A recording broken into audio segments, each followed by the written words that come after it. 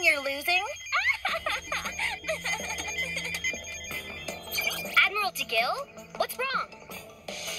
Maximus has created a huge satellite that is able to control comets and send them crashing into any target. I apologize for the interruption, but we need your help. I understand. Right away, sir.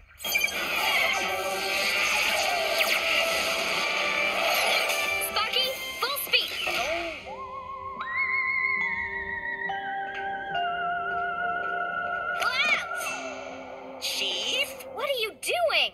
it's our day off, so I'm giving the ship its annual checkup. X5 too. I'm not really feeling myself. What is the problem? X5? No, we have a mission. Maximus is on the loose. But I just dismantled the main controls of the ship. Hmm. Put everything back together now. The safety of the universe is at stake. And also my gym grade.